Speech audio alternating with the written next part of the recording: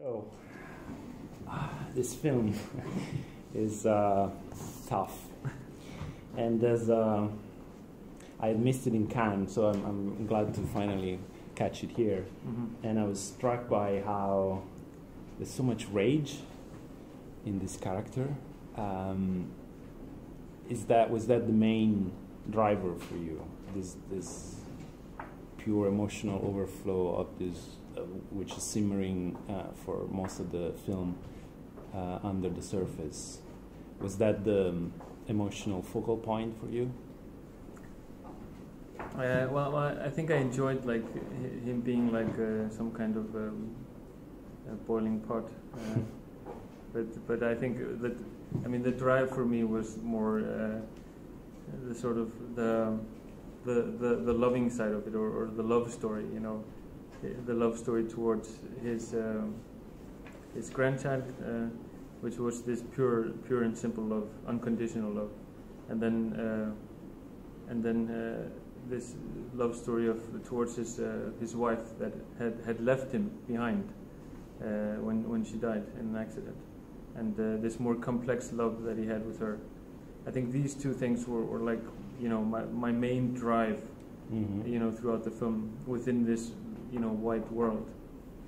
Uh, but but absolutely, I, I, I was fascinated by by all of these feelings uh, left behind in Ingimundur. You know, you know the the anger, the sorrow, the the, the doubt. You know, he, he begins to doubt. You know everything. You know, and then and, and that was absolutely something I enjoyed. Yeah. Okay. And for both of you, what's your impression of how this man was before this tragedy? Like, how much of this was still a factor in his psychology? Because there's a there's um, I think the film alludes to the idea. Also, you said it. It was there's love, and then this love needs to be sort of redirected after this this change. Mhm. Um, but was this a functional man before? Because Mhm. maybe even the love that he felt for his wife um, was somehow uh, poisonous. Like this, this man has something about him that is. Mm.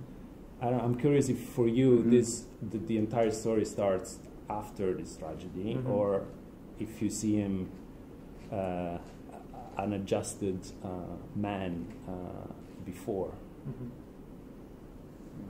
I don't know. Uh, I have my ideas about him, I mean, Mhm. and uh, even we we didn't didn't we, we, didn't really talk about the the, the, the early days, but I think he's kind of uh, he he was a simple man in that sense uh, that what matters to him is to have a job and uh, a house to live in and a good wife Mm-hmm. children. That's like very important for him. And when one of these things, like his wife, is taken from him, he was not in the picture.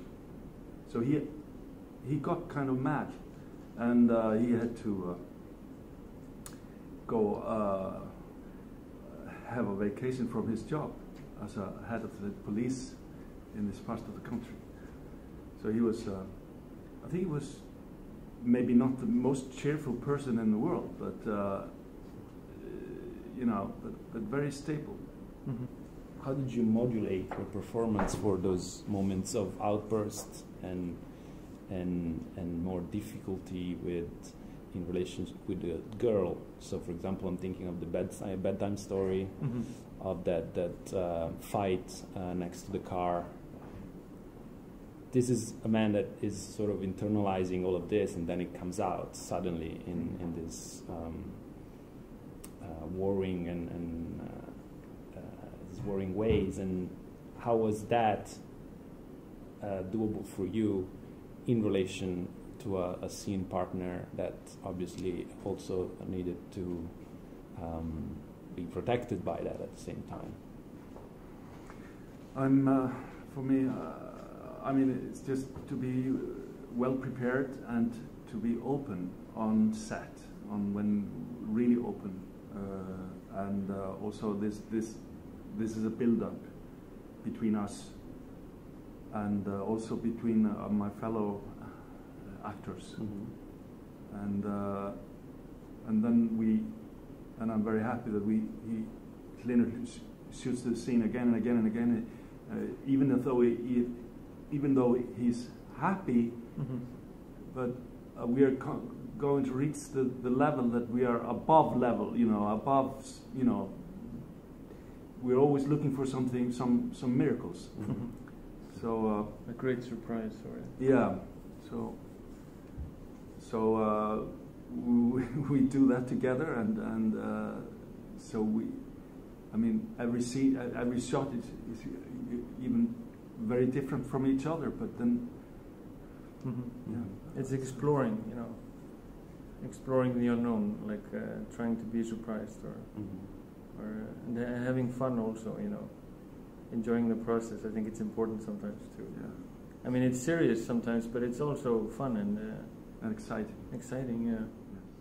I- I'm thinking of the way that you seem to portray um, the transformation. That there are moments in the in the film, not not in the characters themselves, but in the world around them. So I'm thinking of the rock uh, Mhm. falling, Oh yeah. the weather changing, and even the blood uh, on Mhm. your fingers spreading. hmm How and it feels like that's the those are moments in which the this world stops to witness this sort Mhm. of flow, which is otherwise negated by um, this this oppressive um, psychology of the character who's, who's Mm. keeping. Um, tell me about the more visual side of how you try to integrate these things together. Mm. I, think I think I I remember like growing up and you know reading books, and I think I I, I I tended to relate to the books that you know explain the world around the character, you know by if they wanted to portray the character and the interior of the character, they sort of they explained the world around him, you Mhm. know, and I think I've always like um, related to that or liked that, you know, like. Uh, I, I think you, yeah, and I think, um, I think I just, uh, I think I always feel like, you know, everything is very important. You know, everything is just as important. You know, the dialogue is just as important as the location, and the, the sound is just as important as the the the the visuals. And you know, you know what I mean. It's like um, paying attention to everything, like the small details also. So so we really like. Uh, I have this thing like when I'm when I'm writing a scene, it's very hard for me to stop writing, you know, because I always feel like there's something more happening. You know, what ca- you know this then this happens and then this happens and it's hard for me to like um, stop writing a scene because they always be they they they tend to be very long. You know, they just Mhm. keep going. So it's uh, sometimes I just like that feeling. You know, you know, not knowing where it's going, but still just following it because it just feels interesting or or exciting. You know, I just uh, I think it's just that feeling.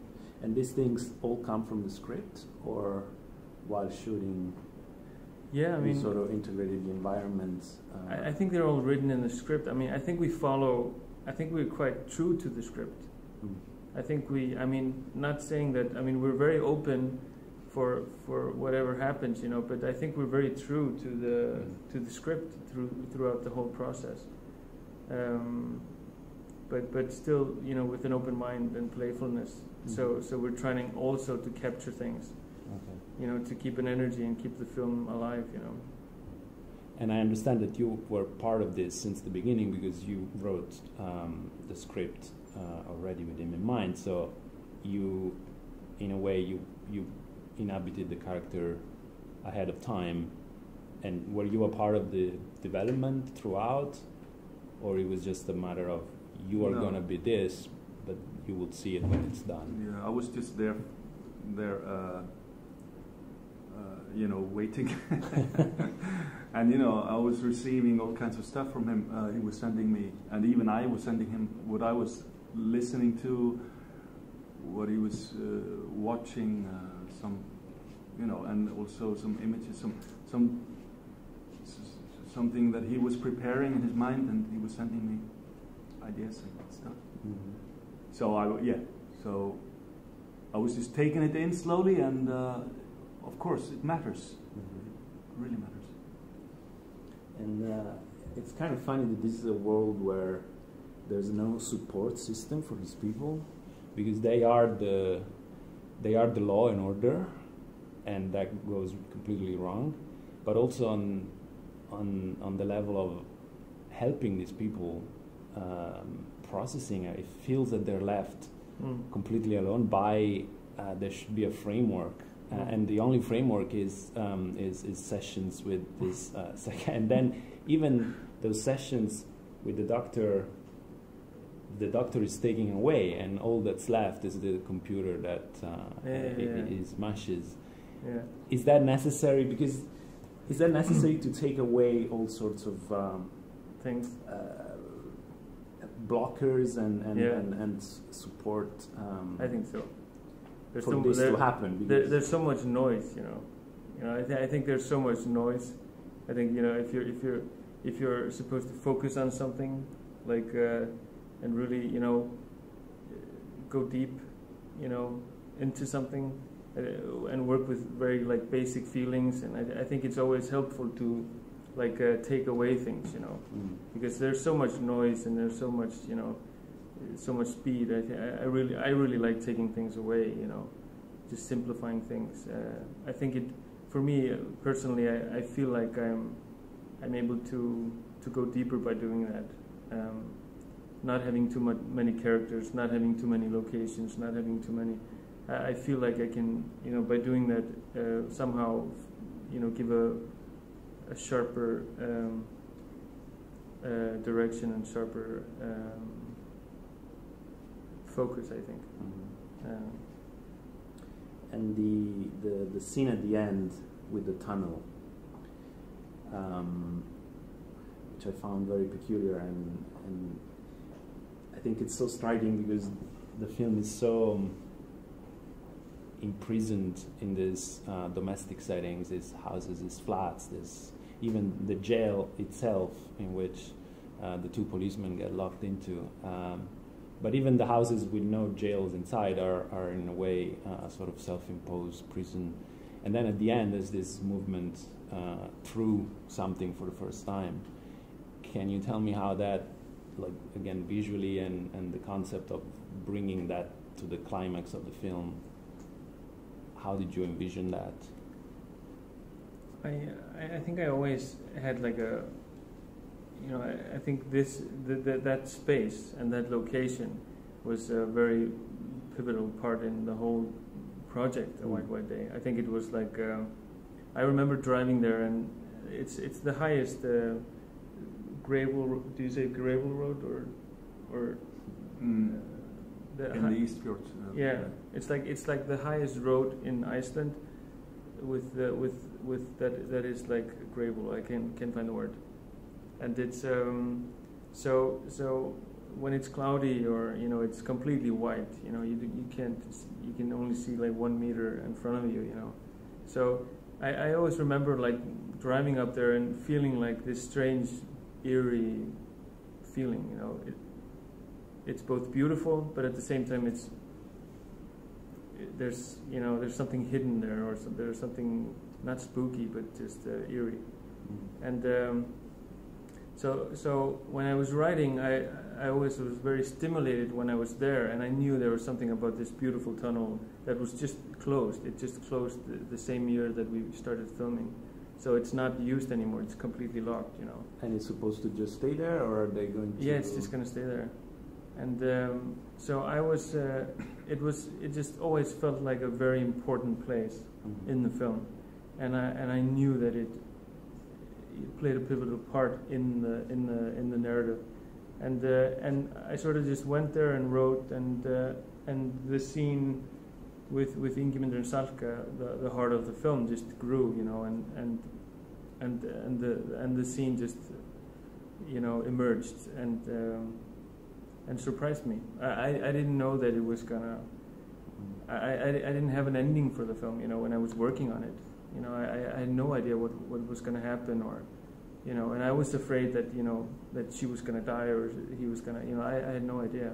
So, yeah, like the moment where it's also very unclear for the viewer in the sense that you could feel the film going in many different directions with that ending, and there's Mm. a shot of the car after he's injured Mhm. uh, by the other man, and he's, trying to uh, bandage himself. yeah, And there's a shot of the car which mirrors the the, the initial incident, yeah, and you think of this sense of circularity uh, Mm. about it, which. Uh, yeah. but it's not. It's not. It's only hinted at. It's not making. Yeah, it's not like over. Yeah. it's not around that. you shot on film, right? Yeah, we, we shot it on uh, on 35 millimeter. Uh, the, the the prologue of the film, like the opening, the two years of the house and the seasons going by, was shot on 35 uh, uh, anamorphic four perf, Okay. and and then the rest of the film, uh, the principal photography was shot on um, Super 35. You want to continue doing that? Uh, I think uh, I think my, our next project is going to be another format. I mean, it's going to be film 35, but it's going to be another aspect ratio. I think. Uh, but I, I really I really love the.